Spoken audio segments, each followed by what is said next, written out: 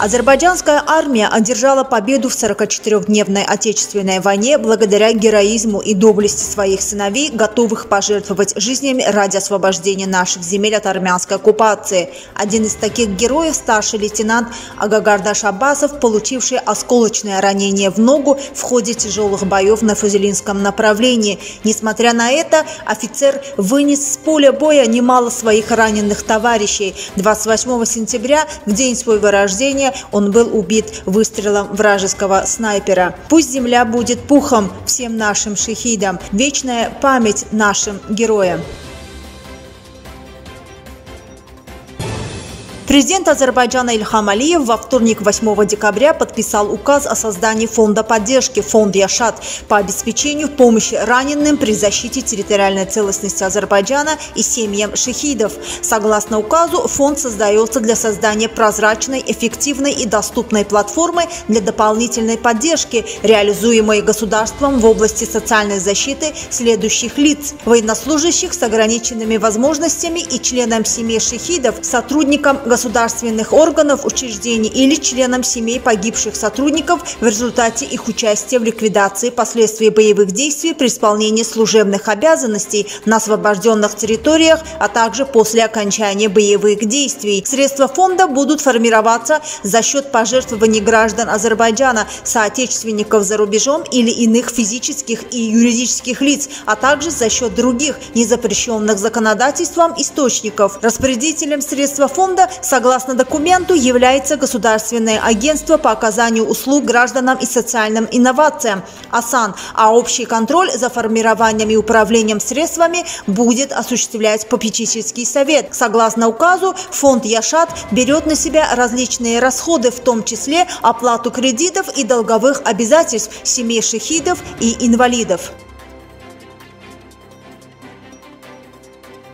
Фонд Яшат планирует оказывать помощь лицам, подорвавшимся на минах и их семьям. Об этом 8 декабря заявил председатель Госагентства по оказанию услуг гражданам и социальным инновациям при президенте Азербайджана Ульви Мехтев на брифинге, проведенном в связи с созданием фонда. Платформа фонда будет сформирована таким образом, чтобы каждый азербайджанец смог отслеживать его деятельность, сказал Мехтев. Глава Госагентства отметил, что она разрабатывается Центром развития электронного правительства. Как только платформа будет готова, общественность проинформирует об этом, сказал Мехтев. Граждане также смогут обратиться к нам со своими предложениями, заметил глава госагентства. Он отметил, что для каждого, кто перечислит пожертвования, на онлайн-платформе будет открыт специальный кабинет, где он сможет контролировать направление расходования перечисленных средств. По словам Мехтева, сотрудники агентства будут посещать каждого обратившегося в фонд Яшат.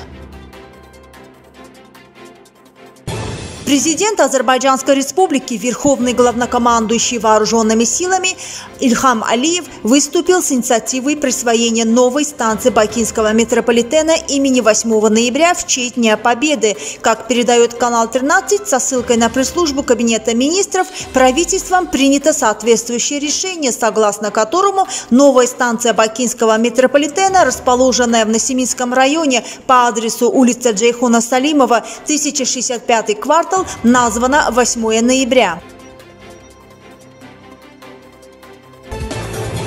Президент Азербайджана Ильхам Алиев подписал указ о создании фонда помощи азербайджанской армии. Как передает канал 13 со ссылкой на официальный сайт президента Азербайджанской республики, также отменен указ президента Азербайджана о создании фонда помощи вооруженным силам от 17 августа 2002 года. Кабинету министров поручено обеспечить перевод средств, находящихся на балансе фонда помощи вооруженным силам на специальный счет фонда помощи азербайджанской армии, а также решить решить вопросы, вытекающие из настоящего указа. Согласно положению, распорядителем средства фонда является Министерство обороны Азербайджанской Республики.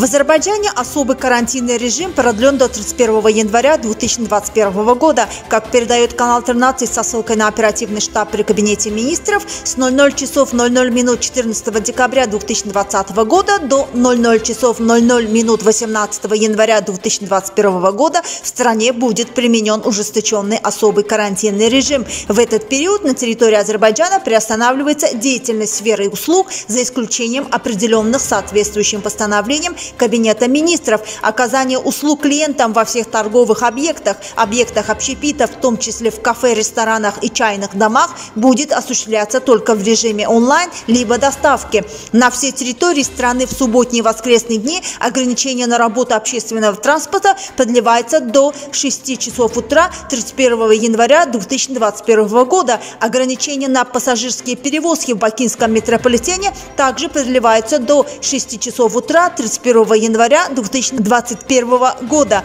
С 00 часов 00 минут 14 декабря 2020 года до 00 часов 00 минут 18 января 2021 года будет ограничено передвижение в Баку, Сумгаите, Генже, Мингечевире, Ширване в Обширонском районе, а также в районных центрах Лянкаранского, Масалинского, Джалебатского, Шикинского, Закатальского, Губинского, Хачмасского, Евласского, Бардинского, Белясуварского и Исмалинского районов, за исключением сел и поселков с 00 часов 00 минут 14 декабря 2020 года до 00 часов 00 минут 18 января 2021 года на территории городов Баку, Сумгаид, Генджа, Мингечевир, Ширван и Обширонского района, а также в Ленкаране, Масаллы, Джалеваде, Шики, Закатали, в районных центрах Губа, Хачмаз, Евлах, Барда, Белюсевар и Исмаилы, за исключением сел и поселков, граждане смогут покидать место жительства или место пребывания посредством системы СМС-разрешения, либо получив разрешение в службе управления дежурными частями Министерства внутренних дел Азербайджанской Республики, колл-центре 102. Президент Турции Реджеп Таип Эрдоган 9-10 декабря совершит официальный визит в Азербайджан. Об этом передает канал 13 со ссылкой на турецкий телеканал ТРТ. Эрдоган завтра отправится в Азербайджан и встретится с президентом Азербайджана Ильхамом Алиевым впервые после прекращения огня в Карабахе. Визит турецкого президента в Баку продлится два дня. На встрече будут обсуждены как отношения между двумя странами, так и последняя ситуация в Карабахе. В ходе встречи Эрдоган-Алиев будет также детально оценен процесс прекращения огня, сообщает телеканал. По данным ТРТ, лидеры двух стран обсудят и последнюю ситуацию в регионе в связи с созданием турецко-российского центра для наблюдения и контроля над прекращением огня. Будет обсуждена деятельность, осуществляемая для работы совместного центра. В ходе переговоров также будет дана оценка будущим совместным шагам, которые предпримут Турция и Азербайджан, говорится в сообщении. Ранее Эрдоган сообщил, что вместе с супругой примет участие в параде в Баку по случаю победы в войне за освобождение исторических земель Азербайджана, который состоится 10 декабря. Католикос всех армян Горигин II призвал премьер-министра Армении Николу Пашиняна уйти в отставку. Как передает канал 13 со ссылкой на армянские СМИ, в своем послании глава армянской апостольской церкви заявил, что народ после войны в Карабахе переживает боль и горечь потерь. Многочисленные жертвы и потери Карабаха нарушили национальное единство и солидарность. В связи с постоянно ухудшающей ситуацией Католикос провел обсуждение с Советом епископов Армянской апостольской церкви и Высшим церковным советом.